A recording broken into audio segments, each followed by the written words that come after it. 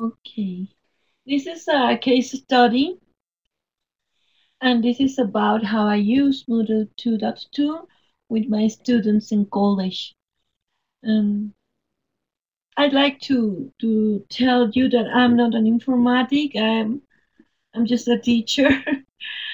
I I I teach her how to research humanities. Um, okay, let's begin.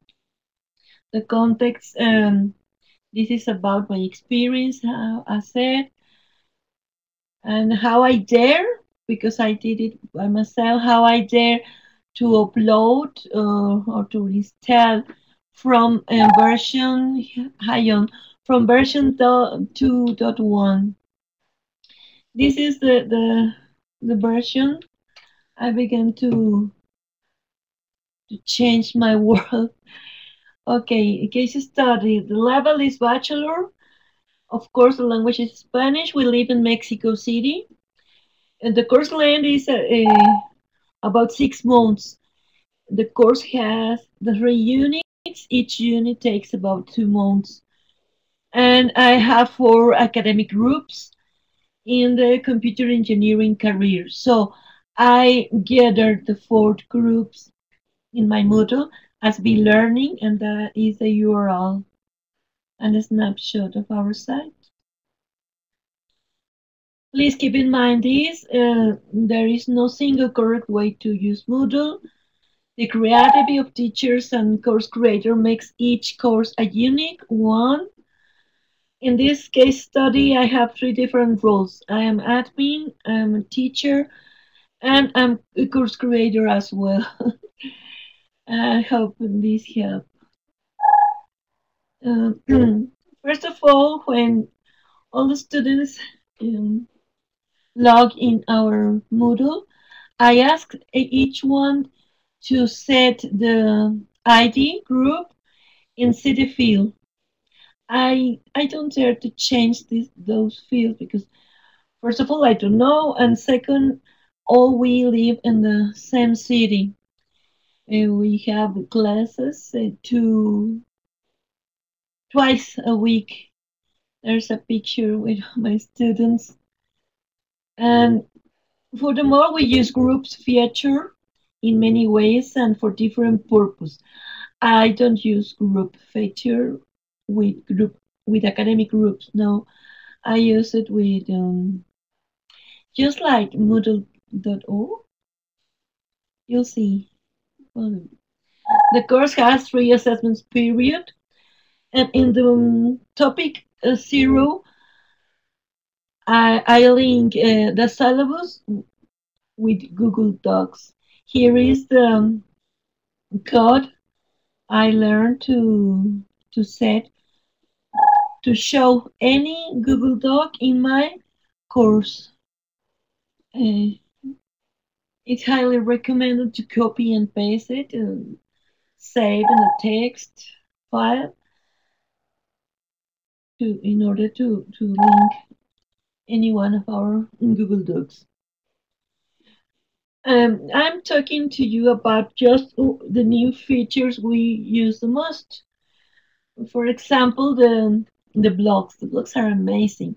Here's a snapshot. Uh, this is the navigation block. First of all, I asked my students to send to the doc two blocks, main blocks, um, settings and navigation. And in this way we can we can do everything, jump from one course to another or anything. The blocks are setting blocks, navigation block, comments block. This is the most liked block.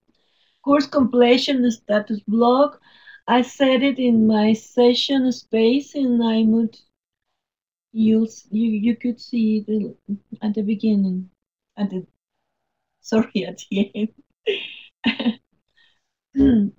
uh, well, logged in user blog because we we need uh, frequently our IP and we used to to browse or to search in Google which which website it has the service and okay from mm. now our logged in user block give us the right IP of each one.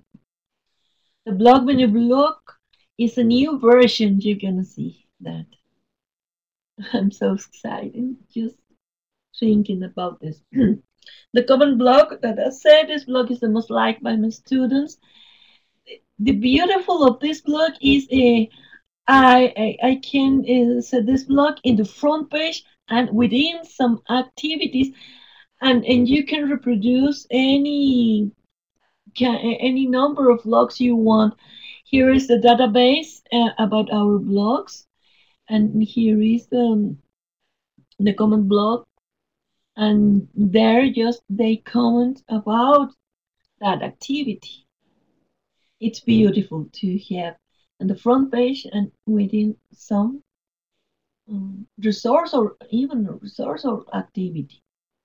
The course completion status block has two views. The view I can see as a teacher. This is the, the block.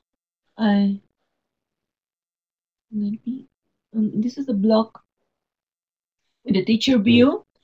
I, I just click on view mm. course report and uh, then I can see it's mm. not a grade book. No, it's just a list with all the participants, all my students. And at the top is a list of all activities and resources, etc. And, and, and checked what they have done, what they have read. It's very beautiful, this new block. And the other view is how they look, look it and how um, it's a, a, kind of guide to them. This is the, the view, the student view. And when they click more details, they see the details, what have they done, what have they read, what is empty. It's beautiful, this, this block. Well, this is uh, what I, uh, I was talking about, the logged in user block we use it, we like it, just because the IP data. And here is how you can you set This block, uh, display picture, country, city, mail, etc. it's beautiful. This block is very useful. The next uh, uh, are exclusive blogs In in our we have YouTube blog and Flickr blog. Blog, sorry, sorry for my Spanish. Uh, and when we edit tags, uh, we like to play editing tags. Uh, as you see in this snapshot, we can add YouTube blog with the same tag uh, or a Flickr Flickr blog. And the other exclusive blog is course overview blog this is the old uh, my Moodle, now called my home. And uh, you can set the course overview block and it's very useful. Let's talk about resources. The new resources in Moodle 2.2, it's the version we are using, are these file, folder, IM is content package, label, page, and URL. The beautiful of these uh, resources and editing mode is that we can duplicate. If you see this X2, it's uh, oh, it depends of the them. The icon change. Um, if you click in in this, you can duplicate immediately any resource, any any um, activity. It is so beautiful. It is so useful. Oh my god sorry. Uh, the most the most used resource is Page. We like Page because you can do everything in, in the Page uh, resource. Um, you can add a multimedia content. You can add iframes, as you say with Google Docs, or even a URL. We manage content with this resource as a tiny website. And I said we because um, I choose one or two students from each group, each academic group, to be my co-facilitator. They they know more than me about informatics, and we we can um, change and update the course. Okay, let's see. Reusing resource and activities. This is also very beautiful feature in Moodle dot two. Uh, sorry, 2.2. It begins in, in, in this version, just in this version. You can, if you have a lesson, you can make the backup just of that lesson and you can restore this backup in other course or in other Moodle site. Uh, this is a reusing resources and activities, a very beautiful, a very useful feature in Moodle 2.2. I am is contact package. I love this resource because I love a module book. I wrote this this presentations a few weeks ago. I didn't know that a Moodle book is going to be core in the next version, 2.3. Okay. I'm so happy. Meanwhile, right now I, I don't have it as a, um, a standard model. So I uploaded, I installed it in my local and I use it in my local when I have a book finished. You can see the this book administration and this is the icon when you can generate IMS content package of all your book and then you can reuse it in my session space in iMoot. It's uh, I think one one one IMS content package. You can see it there. Sorry, my mouse is crazy. Activities. Well, we have 14 activities in Moodle 2.2. The new activities are external to feedback. Feedback is amazing, you'll see. A standard forum display in a blog-like format, we use it. Workshop renovated and wiki improved. Um, okay. You know, you have to plan the course. You have a learning design. I don't, I don't like to to tell construct the design because it reminds me the the constructive school, and I don't like constructive school. So I I tell them um, learning construct. All of we we need to plan our courses. We need to have a learning planning. So we we start to do some exercise with uh, with Stuart Mealor in Moodle Bites where I worked as well. And uh, we have this. I divide the activities as I use them with my students.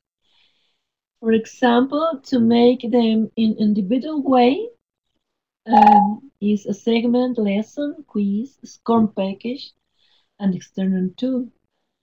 A student makes uh, a segment, nobody can see their, are segments. Uh, it's an individual activity. But there's a collective activities as glossaries, databases, forum, workshop, wiki, and choice. And finally, I, I divide the activities into feedback and communication, feedback module, survey, and chat. Feedback module is this, the free survey. We can create our own survey in a feedback module. Um, this uh, this little icon at the right of some activities is the the great icon. Uh, it means that all those activities can be graded, and that's why I divide them. How do you see your activities uh, in this mind? I'm going to upload this at the forum of my Advent session space and I will share with you. Maybe we can uh, talk about how do you see your the activities when you're planning your course. The most activity, the most used activity is database. I love database. I use for a lot of things database. I don't use workshop. I use database for workshop. I use I, I don't use a lot of glossaries. I use one or two glossaries in all course. And uh, instead I use database, uh, graphic design galleries, PDF bank, show videos about a specific topic, gather participants URL blog. Uh, uh, we can co-evaluate. Um, we can do everything you can imagine with uh, this activity. I have a tutorial and I set here the URL. I'd like to share with you how to to create database presets because it's the way I use database many different ways. Okay, let's talk about how I, manage the course. In using groups in our course, as I said, we don't use groups as academic groups. No, I use group, um, for example, I have group Golden Aruba, Silver Aruba, Cooper Aruba. I have the Epic Fail group and the seven in the red number icon. And that's why, because uh, every period, every assessment period, they got a grade and they uh, are grouping in, in, the, in the group that is just like their grades. In the forums, you can see you can see this student with three with three icons, three little icons. They feel good with that, and they like to approach and get a better Aroa each period. To manage group, um, this is the, the steps. Go to setting blocks, then users, groups, and you can manage, as you can see at the right snapshot. I have a lot of groups here. Uh, department 1, Department 2, Department 3, all kind of Aroas. I have the co-facilitators group. You can see there are six of my students as co-facilitators. And, and here is a little menu to manage groups. And here, oh, sorry. Here is uh, our grouping views. We have four groupings. Uh, this is how many students are in each group and how many groups are in our groupings. Um, they, they can see when they go to participants blog, they can see how they are groupings and it's uh, very beautiful.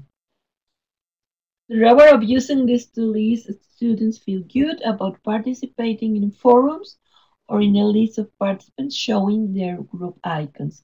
They like the icons, and this encourages them to achieve the long to golden Aruba or some special mentions. As um, for example, I I I've created the DJ course group, and there's only one student.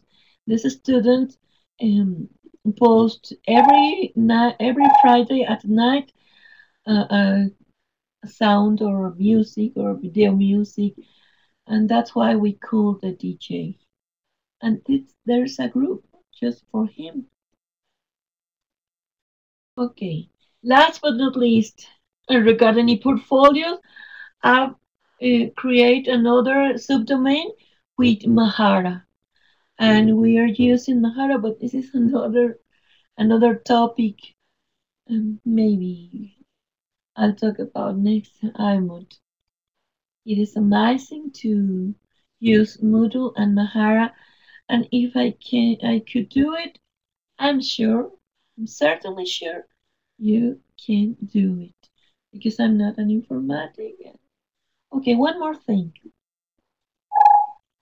This is my top 10 Moodle 2.x feature. This is my red carpet of, of, of the features I prefer. I'd like which are yours. I'm going to post it in the forum. Uh, no, no order, no special order. I love doc. I love navigation block, comment block, resource activity backup because of the reusable, private files, course completion block. Oh my dear, purge all caches. This is just for admins, but it's so beautiful, this feature.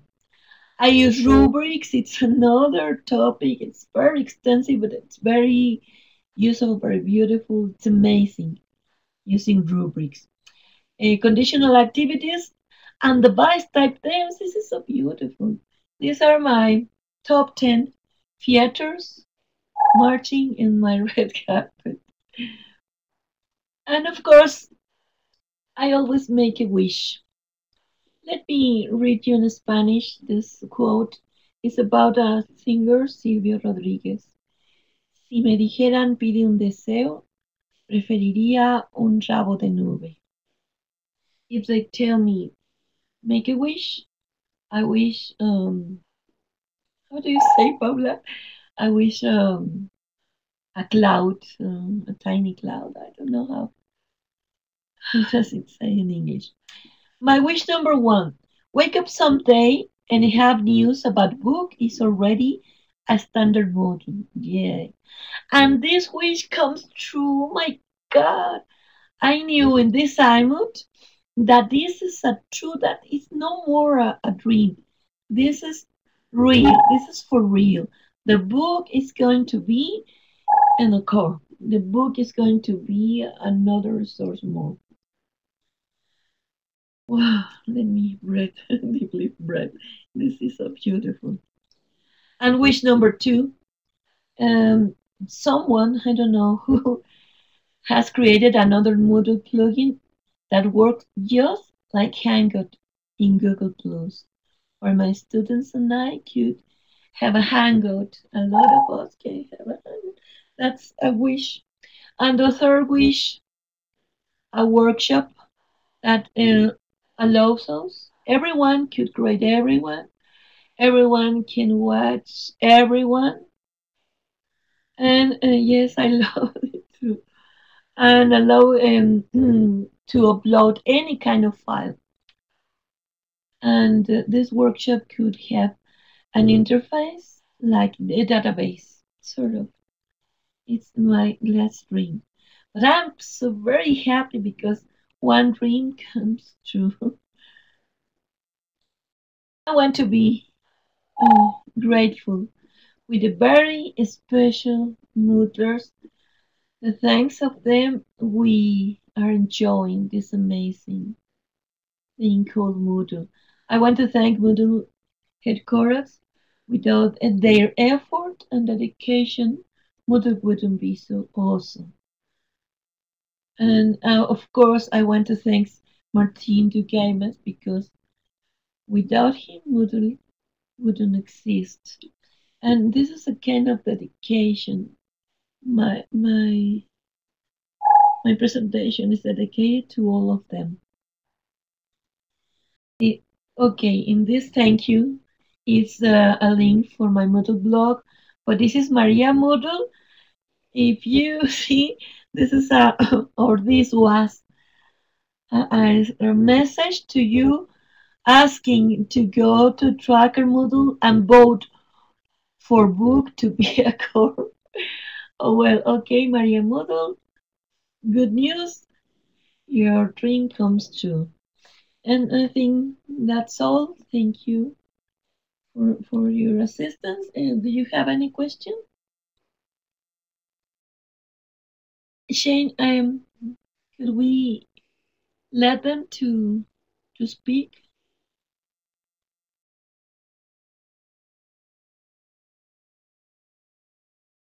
Uh, hi, Mario. Yes, I'll enable the audio for everybody. Thank you so much. There I go, like to so people want to speak. guys.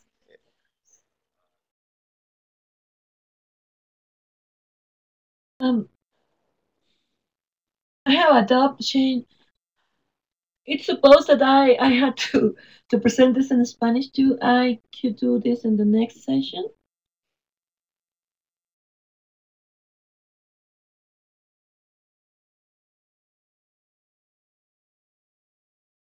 Um, Okay, sure. Paula. Yeah, love to hear it in Spanish. Uh, thank you. Okay, now um, you can use your your mic, please.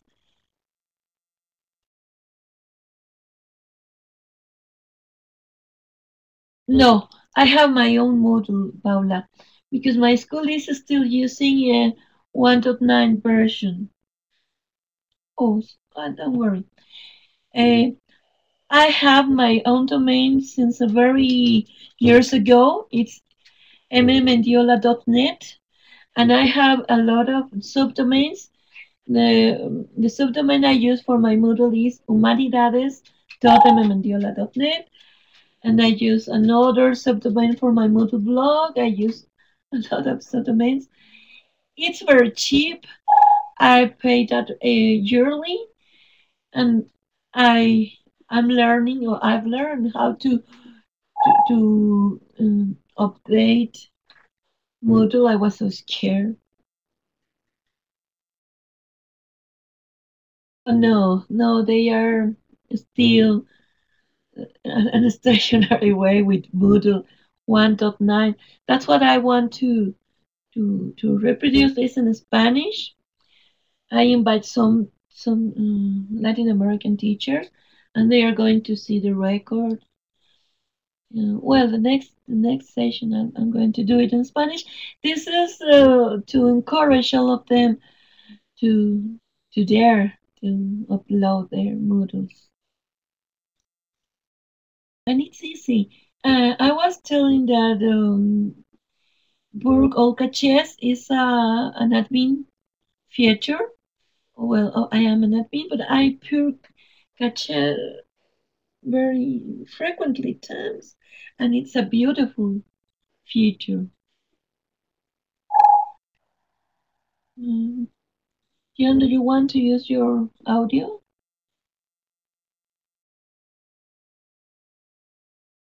Or did you have another question?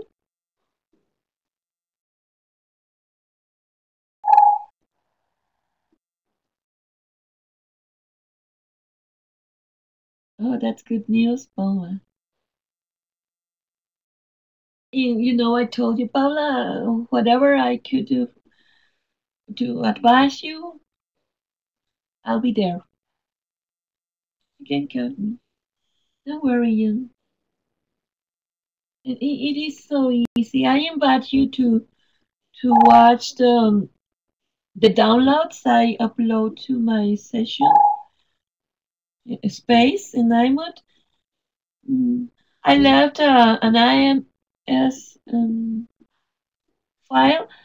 I left you there. Um, what? Ah, a choice of a backup and uh, a, a database preset. It's for you.